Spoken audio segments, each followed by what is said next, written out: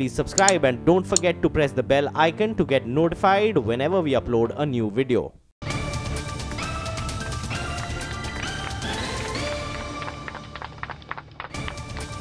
भैया जी कैन में आपका एक बार फिर स्वागत है और मैं प्रतीक त्रिवेदी किनॉट प्लेस में एक बार फिर मुद्दे के साथ हाजिर हूँ जी हाँ मौका जब भी लगे चोरी कर लेनी चाहिए आप कहेंगे, क्या अजीब सी बातें आज ये सुबह सुबह दोपहर में शाम को करने लगे? जी हाँ, मुद्दों पे चोरी जब भी करनी हो, दिल के करीब के मुद्दे हो, ज़रूर चोरी करके और जैसे भी हो, लड़ झगड़ के सामने आ जाना चाहिए। और किसान का मुद्दा एक ऐसा ही मुद्दा। आप सोचेंगे कि आखिर इस मुद्दे को पिछले हफ़्ते करने के बाद, इस हफ़्ते करने की क्या ज़रूरत थी? मैं जब आया तो यहाँ पर लोगों ने कहा कि इसलिए कर रहे हैं, किसान नेता हैं, बड़े किसान नेता हैं, उन्होंने कहा कि अब तो किसान सेंटर में है, और जैसे जैसे चुनाव नज़दीक आएँगे किसान के मुद्दे पर ही बात होगी। बहरहाल, किसान के मुद्दे पर जैसे भी बात हो, चाहे चुनाव के समय पे बात हो, चाहे पहले हो, चाहे बाद में हो, किसान एक ऐसा मुद्दा जो हम आप सबसे सीधे जुड़ा हुआ है मुद्दा। आखिर सवाल यही है कि वो हाशिए पर क्यों है? आज प्रधानमंत्री जी ने संवाद किया, तमाम लोगों से वो बात करते हैं। आज उन्होंने किसानों से छठी मर्तबा बात की, संवाद किया। बहुत अच्छी बात है। सोसाइटी के तमाम सारे लोगों से बातचीत लगातार होनी चाहिए। किसान, उस क्रम में वो छठी बार संवाद कर रहे थे और उन्होंने चार पॉइंट बताए। और वो बेहद महत्वपूर्ण बिंदु हैं जिनको मैं अब बीच में बहस के रखूँगा कि वो चार मुद्दे हैं, अगर उन पर बात कर ली जाए, यानी सही लागत मिल जाए बीज और बाज़ार तक का जो एक समन्वय है, वो सही स्थापित हो जाए तो बहुत कुछ बदला जा सकता है। आज बातचीत करेंगे उस पर, लेकिन सबसे पहले मैंने कहा कि मैं दिल्ली के कनॉट प्लेस में खड़ा हूँ।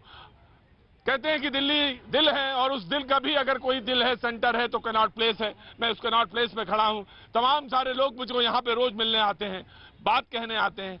पहले उनकी सुनेंगे, फिर किसानों की तरफ़ रुख करेंगे। यकीन मानिए, किसानों का वक्त कम नहीं होगा। एक दो लोगों से आज बातचीत, सबसे पहले किसानों पे ही आज बातचीत करेंगे। जी हाँ तो सबसे पहले मैं जानना चाहता हूँ, यहाँ पे जो लोग मौजूद हैं, उनमें से यहाँ पे कितने लोग किसान हैं और या किसान के बेटे हैं? के नॉट प्लेस में भी आठ, दस, पाँच लोग मिल ही जाते हैं। जी, मैं आता हूँ, मैं किसान के भाई हैं आप। जी, नमस्ते। क्या नाम है आपका? सुमन त्रिपाठी जी कहाँ की रहने वाली है? फतेहपुर डिस्ट्रिक्ट जी तो आप किसान परिवार से? जी मैं किसान परिवार से वैसे तो हिंदुस्तान में हर तीसरा चौथा दूसरा आदमी परिवार किसान का ही होता है। कुछ कहना चाहती हैं किसान के हालात किसान के बारे में प्रधानमंत्री के जो इनिशिएटिव्स हैं उसी पर क्योंकि जो आज का सवाल है वो यही है कि सत्तर साल बनाम चार साल की लड़ाई में क्या प्रधानमंत्री मोदी की कोशिशें किसानों के हालात बदल पाएँगी? ये सवाल है तो आप कुछ कहना चाहती हैं? जी कहना चाहूँगी किसान जहाँ का तहाँ है किसान की कोई उन्नति नहीं हो पा रही सर। किसान आप जरा देख लिया हम लोग से इसमें आईसीपी में कितनी धूप लगती है। हाँ। और इसी धूप में किसान कितनी मेहनत करता हाँ। है। उसका गेहूँ पहले पाँच रुपए छह रुपए था अब दस रुपए पंद्रह रुपए हो गया है। उसका दाम ही नहीं बढ़ता किसी चीज़ का। और और सारी समस्या और जो बिजनेसमैन है या क्या नाम जो सर्विस वाले हैं उनकी समस्याएँ बढ़ उनके पैसे बढ़ते जा रहे हैं। उनके पैसे तो इतने बढ़ रहे हैं कि काला धन जमा है ब्लैक में नहीं वो क्या सब बाहर आ गया? अभी भी है। किसान का कुछ नहीं बढ़ रहा किसान का कुछ नहीं बढ़ रहा। कहाँ का कहाँ है किसान? जी किसान वहीं पे वहीं है। जी हाँ तो मैं आपकी बात रखता हूँ। ये प्रधानमंत्री ने अपनी जो चार बातें गिनाई उसमें से एक ये भी हुई कि वाजिब दाम मिले। ये आपकी बात जो है उन्होंने भी यही बात कही। वाजिब दाम मिले कोई और कहना चाहता है इधर से? जी। मैं सर ये कहता हूँ जो किसान की फ़सल मारी जाती है जी। तो एकड़ का पंद्रह सौ रुपये दिया जाता है। और जो मुखत का खाने वाला है उसे वही अनाज दो रुपए दिया जाता है। किसान की तरफ़ सरकार क्यों नहीं ध्यान देती है? किसान की तरफ़ सरकार क्यों नहीं ध्यान देती है? यही बात है। लेकिन अगर हम बात करें सत्तर सालों की या इन चार सालों की बात करें, क्योंकि लड़ाई तो सत्तर बनाम चार की ही है तो इसमें बात करें तो इन चौहत्तर सालों में अगर हम बात कर लें तो वो कहते हैं कि साहब, सबसे ज़्यादा अगर किसी की बात हुई तो किसानों की बात हुई। लेकिन मुश्किल ये है कि किसान जो है, वो हाशिए पर है। तो जी जी जी जी जी जी जी। जी। किसानों के लिए कितना इंतज़ार और करना पड़ेगा जो सरकार किसानों की आएगी? कोई भी सरकार आज तक भी भला नहीं कर पाई है। चाहे मौजूदा सरकार हो चाहे पुरानी सरकार रही हो किसी ने भी कहने को कुछ भी कहे क्यों ऐसा क्यों है? क्या कारण है? क्या लगता है आपको? को, कौन सी योजना इनकी सफल हो रही है? बताइए फ़सल बीमा योजना के लिए वो रो रहे हैं। इन्होंने कहा कि एक एक सारी योजना इन्होंने कहा कि पिछली सरकार की अगर बात करें तो वो कहते हैं कि एक लाख करीबन चौबीस हज़ार करोड़ का उन्होंने कहा है जो उन्होंने दिया बजट में एलोकेशन किया 2009 से 14 की बात करें यह सरकार कहती है कि अगर हम चार साल की बात करें तो दो लाख ग्यारह हज़ार करोड़ एलोकेट किया। अभी हमारी फ़सल मरी है आलू के बाद जो पलेज लगाते। हैं ओले से खराब हुई है। एक आदमी सर्वे के लिए ये पूछने नहीं आया कि तुम्हारा क्या दुख दर्द है तो बताइए कहाँ है बीमा और कंपनियाँ इनकी? जी क्या क्या नाम है आपका सर? मेरा नाम नरसिंह पाल मीणा मैं जी नरसिंह राम मीरा जी हैं। आप कहाँ के रहने वाले सर? मैं गौतम बुद्ध नगर से बिलोंग करता हूँ। गौतम बुद्ध नगर। वहाँ का सुना किसान तो बड़ा ज़बरदस्त है पैसे वाला किसानों को लूटा जा रहा है उधर। लूटा जा रहा है। ऐसा नहीं है ऐसा नहीं है। अच्छा अच्छा। मुझे तो बताया कि सब लोगों ने कि वहाँ के किसान तो हमें चौधरी साहब बैठे हैं। चौधरी साहब मेरी देख के तरफ़ देख के मुस्कुरा रहे हैं। यार मैं आया मैं आया हुजूरे आली। मुझे तो मैं क्या मैथ को क्या पिद्दी क्या पिद्दी का शोरबा। साहब मैं तो सुनी सुनाई बात कहता हूँ। लोगों ने कहा कि गौतम बुद्ध नगर के किसान तो बहुत पैसे वाले हैं। है, है, हैं। जब जमीनें चली गई वहाँ की शिक्षण संस्थाएँ जो है वो हमको ही एडमिशन नहीं देती हैं। एडमिशन नहीं दे रही? जी। किसानों का ये भी एक बहुत बड़ा रोना है कि साहब हमारी जमीनें चली गई हमारी रकबा जोत का जो सामान था वो चला गया और हमारे ही बच्चे जो हैं पैदल हैं। जी, चौधरी साहब बैठे मैं आ रहा हूँ तारुफ कराने जी किसान कहाँ से हैं साहब? लक्ष्मण नायक राजस्थान श्री गंगानगर जिला सीमावर्ती क्षेत्र कितने कितने बीघे ज़मीन है आपके पास? दस बीघा ज़मीन। बताइए आप बोलिए। राजस्थान के किसानों को ना तो पूरा पानी मिल रहा है। अभी हमने आंदोलन गंगानगर में किया जो जहरीला पानी पंजाब की फैक्ट्रियों से आ रहा था लोगों को पीने के लिए खेतों में। वहाँ मवेशी मरे निकले जब पानी खेतों में हम रात को लगाने जाते हैं। जो सीमा बॉर्डर के अंदर जो जमीनें हैं वो जमीनें रात को पाकिस्तान के अंदर जो जमीनें हैं हम चाहते हैं उसको सरकार ले और उसको हमें डीएलसी के रे- रेट पर उस किसान की ज़मीन खरीदे ताकि वो हमेशा के लिए किसान को परेशान ना होना पड़े। आप भी आइए गंगार ज़िले के अंदर भारत पाक सीमा पर बसा हुआ रायसनगर श्रीकर्णपुर विधानसभा क्षेत्र जहाँ मेरा वहाँ आइए। गंगानगर में कौन सा क्षेत्र बताया आपने? श्री कर्णपुर विधानसभा क्षेत्र। श्री कर्णपुर विधानसभा क्षेत्र गंगानगर। बिल्कुल एकदम बॉर्डर का इलाका। बिल्कुल पाँच किलोमीटर आगे बॉर्डर है आप आइए पाकिस्तान का बॉर्डर पाकिस्तान जी का बिल्कुल साहब अब तो राजस्थान का क्या? अब मैं राजस्थान ही आने वाला हूँ बस। कुछ कुछ अरसे बाद वहीं दिखाई पड़ूँगा। आप जी बिल्कुल। श्री कर्णपुर आइए। जी, आऊँगा। बिल्कुल सीमावर्ती क्षेत्र में आगे किसानों के देखिए सबसे ज़्यादा आपके युगेंद्र यादव जी भी अभी गंगानगर में आए। जी जी मैं आता हूँ मैं पहुँचता हूँ मैं आता हूँ मैं आपसे भी सवाल का बीच में सिलसिला जोड़ूँगा। लेकिन हमारे जो मेहमान हमारे साथ मौजूद हैं मैं उनसे आपका तारुफ करा दें। मनीष सिंह जी हमारे साथ बीजेपी का पक्ष रखने के लिए मौजूद है बहुत बहुत शुक्रिया। उमेश पंडित जी हमारे साथ मौजूद हैं कांग्रेस का पक्ष रखने के लिए बहुत बहुत शुक्रिया। उमेश जी नाराज़ हैं क्या आज? खुश है। ना? वो बहुत पानी नहीं पिलाओ ना तुम लोग भी काम करते जब किसानों की बात हुआ करे। पानी पिलाओ। जल्दी आओ। यहाँ आओ जल्दी। कहाँ के रहने वाले हो तुम? अमेठी।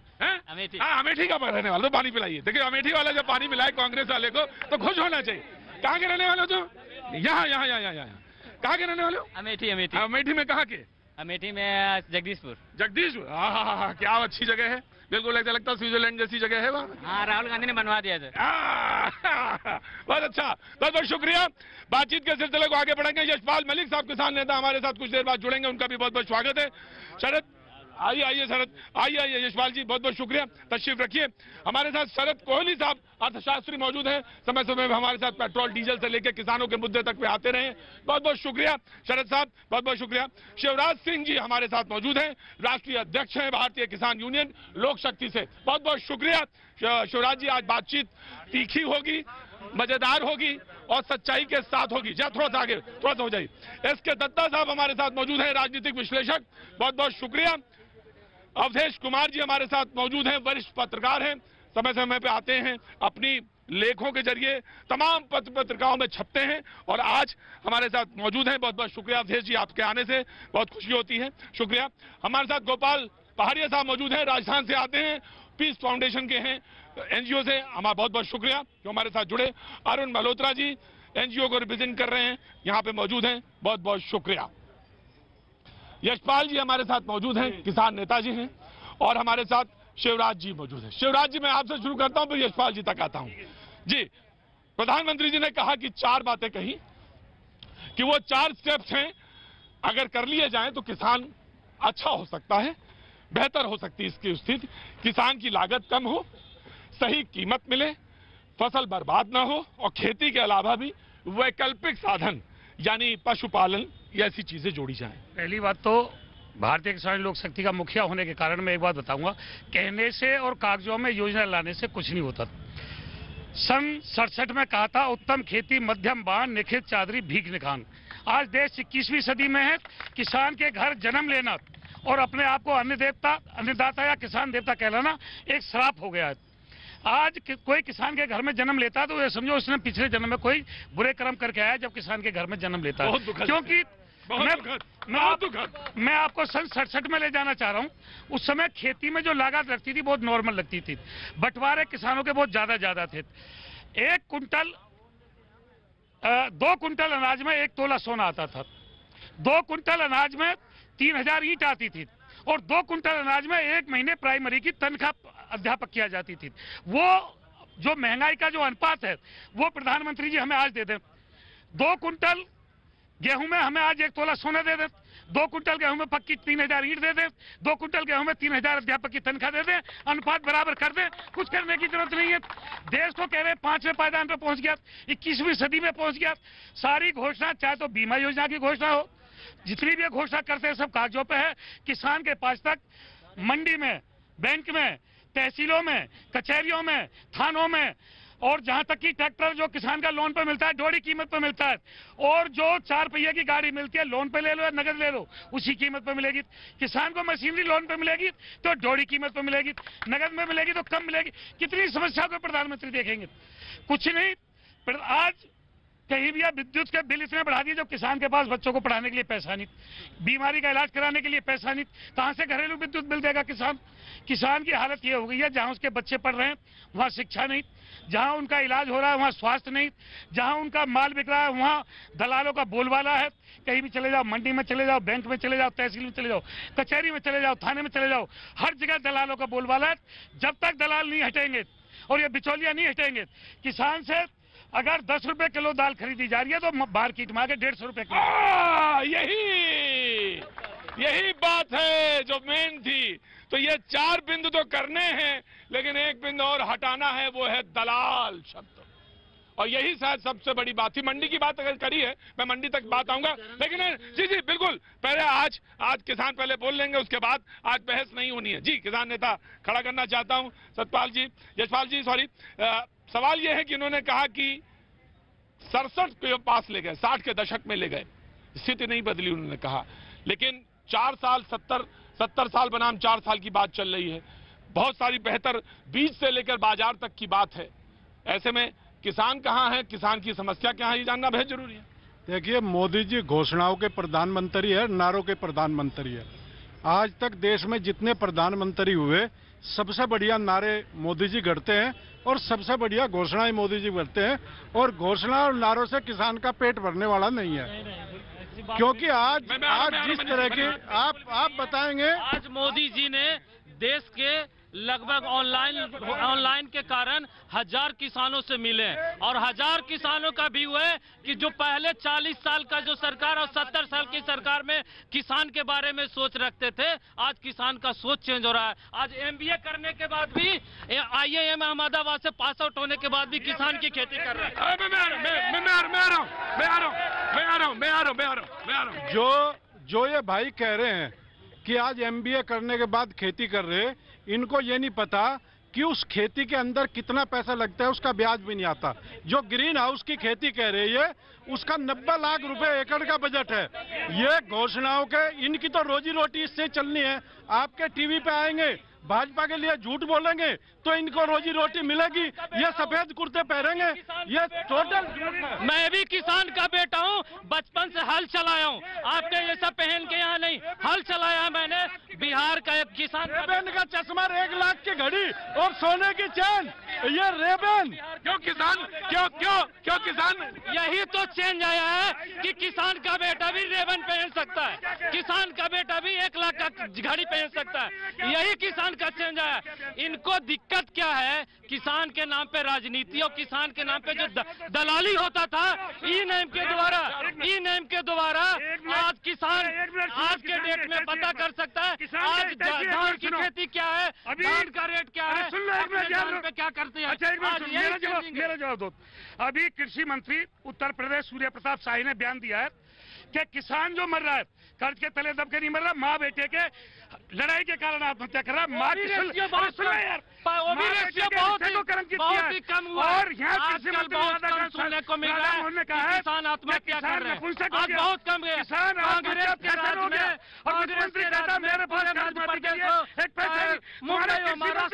कि खिलाफ बोल रहे हैं। आप मोदी जी की बात कर रहे हैं। मैं ये बताना चाहता हूँ दाल सस्ती कर दी। दाल सस्ती होगी किसान की तो सस्ती हो गई। क्या बाज़ार में भी दाल सस्ती हो गई? ये लोग केवल पाँच परसेंट के लिए काम कर रहे जिनमें से पचास पूंजीपति हैं और साढ़े चार हज़ार दलाल है। मोदी जी केवल पाँच हज़ार लोगों के लिए इस देश में काम करने आए दलालों की पेट भरने और उद्योगपतियों का पेट करना। यही सोच चेंज करना है। मोदी जी पूरे भारत के किसान के लिए काम कर रहे हैं। वो किसान के बारे में सोचते हैं। जो दलालों की बात आई तो आजकल ई नैम ऐप डाउनलोड करता है किसान और किसान पता करता है आज दाल का क्या रेट है? वही दाल पे रेट पे बेचते हैं। वही रेट पे बेचते हैं। और बाबूजी सब ठीक है? आराम से है ना? भगवत भजन चल रहा है ना? भगवत भजन क्या करेगा प्रभु? परेशान है। क्यों? परेशान अरे बा, बाबा लोगों को तो पेट में रोटी भी नहीं चाहिए। भगवत भजन हो जाती है। भ्रष्टाचारी भ्रष्टाचारी नहीं जा रही देश से। भ्रष्टाचारी नहीं जा रहे। महात्मा गांधी जी बलिदान हो गए जवाहरलाल नेहरू जी राजीव गांधी कितने नेता हो गए। हाँ। मगर भ्रष्टाचारी नहीं खत्म हो रहे। मोदी जी है फिर भी भ्रष्टाचारी है। किसान किसी प्रकार से हैं? ये गल्ला पैदा करता है हाँ। फिर भी उसकी ये दशा उनका इतने किलो देंगे। उनका बेचारा गल्ला दस दस दिन पंद्रह पंद्रह दिन साले पड़े हैं। अंत में उनका ये छतरपुर से मैं एमपी का रहने वाला तो हूँ समझ ही गया था जब बीच में आपने बोल दिया तो हम समझ गए छतरपुर के हैं। तो हैं? किसान परेशान है किसान परेशान किसान परेशान। किसान परेशान है शरद कोहली जी सवाल मैं मैं मैं आ रहा हूँ अवधेश जी देखिए मैं इस बात से आगाज़ करूँगा ये सिलसिला कब तक चलता मैं रहेगा बता दूँ कि यशपाल जी ये अच्छे आ, कपड़े जो पहने ये मॉडल भी हैं और ये मॉडलिंग भी करते हैं। लेकिन ये किसान और इकोनॉमिक्स पे बोलते हैं इसलिए इनके कपड़ों पे मत बोलिएगा किसान का बेटा है। ये ये भी असर होने लगेगा। ये एक मिनट, कपड़ा पहन ही नहीं पहन ही नहीं सकता। सिलसिला कब तक चलता रहेगा? सियासत अपनी चालों से किसान को कब तक छलता रहेगा? देखिए अगर आप सियासत निकाल दें किसान खेती में से आज किसान खुशहाल हो जाएगा। किसान के खुशहाल न होने का कारण केवल और केवल सियासत है। मैं सिद्ध कर सकता हूँ दो दश, दो दशमलव तीन बिलियन डॉलर भारत की इकोनॉमी का साइज़ है। उसमें 17 परसेंट एग्रीकल्चर इकोनॉमी का कंट्रीब्यूशन है और 60 परसेंट लोग 60 परसेंट लोग खेती पर इस टाइम डिपेंडेंट है। क्या ये बताता नहीं है कि किसानों की जो आज 70 चौहत्तर सालों में प्रगति हुई है? वो केवल और केवल सियासत की वजह से पीछे रह गई है। तो अगर देखा जाए परंतु हमें इसमें एक एक चीज़ देखनी है कि क्या अगर भाजपा वाले कहते हैं कांग्रेस वालों ने सत्तर साल नहीं किया कांग्रेस वाले कहते हैं भाजपा ने चार साल नहीं किया मैं दोनों को चौहत्तर साल को जोड़ता हूँ क्या यह सत्रह परसेंट कंट्रीब्यूशन जीडीपी पे बढ़ के साठ परसेंट नहीं हो जाना चाहिए था? क्यों खेती पीछे रह गई है? जी जी मैं जानना चाहता हूँ मैं कांग्रेस से यही सवाल करता हूँ। क्या कारण रहा? झूठे वादों का खेल प्रधानमंत्री फेल। आपको फिर याद कांग्रेस की सरकार ने सत्तर हज़ार करोड़ के किसानों के बिल माफ़ किए थे। और देश में जो व्यवस्थाएँ चल रही थी इनकी सारी व्यवस्थाओं के कारण किसान विरोधी नीति अकेले मध्य प्रदेश में उनतीस हज़ार किसानों ने आत्महत्या की है। मध्य प्रदेश छत्तीसगढ़ राजस्थान कर्नाटक चारों तरफ़ किसान विरोधी सरकार पूंजीपतियों की सरकार है दलाल बैठे हुए हैं इनके। जहाँ पे आज अभी हमारे उत्तर प्रदेश में पत्थर हुआ है। दलाल अभी पैदा नहीं हुआ है। सड़सठ साल पहले भी दल दलाल। उत्तर प्रदेश में अभी दो दो रुपए के चेक आए किसानों के, दो दो रुपए के चेक। दो दो रुपए के चेक आए उत्तर प्रदेश के किसानों और और के आरएसएस के कार्यकर्ता जिनको कर रहे हैं जिनके माफ़ हो रहे हैं। बीस बीस रुपए, पाँच पाँच रुपए, पंद्रह पंद्रह रुपए। ऐसे सरकार चलती है क्या? सूट पहनते हैं? क्या पहले दलाल नहीं थे क्या? ये दलाल अब पैदा हुए हैं। पहले मुझे किसान भाई बताएँ, इस चार साल से पहले क्या दलाल नहीं थे? क्या किसान को कीमत मिलती थी? ये आप इस सवाल का किसान से जवाब लीजिए प्रतीक भाई। देखिए, बिल्कुल बिल्कुल बिल्कुल, मैं सवाल का जवाब लूँगा कि क्या इन चार साल से पहले दलाल नहीं थे? लेकिन हाँ मैं मैं मैं मैं मैं ऑफकोर्स ऑफकोर्स मुझे मालूम है, कई लोगों के पास सवाल हैं, कई लोगों के पास हाथ हैं। जी हाँ जो खबरों की दुनिया से वाकिफ हैं जी हाँ एक बड़ी खबर, वो ये है कि न्यूज़ 18 यानी न्यूज़ 18 खबरों की दुनिया में एक ऐसा नाम, जो अब देश का नंबर वन न्यूज़ नेटवर्क बन चुका है। जी हाँ बहुत बहुत शुक्रिया। न्यूज़ 18 अपनी इस कामयाबी का जश्न मना रहा है, और news 18 is going to one, सड़सठ करोड़ दर्शक, आंकड़े ये कहते हैं, सड़सठ करोड़ दर्शक 1200 से ज़्यादा रिपोर्टर और 15 भाषाओं में 16 चैनल। ये है भारत के नंबर एक न्यूज़ नेटवर्क, न्यूज़ 18 की ताकत। इसलिए हम कह रहे हैं 18 बन चुका है नंबर वन। जी हाँ वक्त वक्त है जनता के पास, जनता के सवाल और किसानों की दशा पे बात करने का। बस, अभी कुछ देर में लौटता हूँ।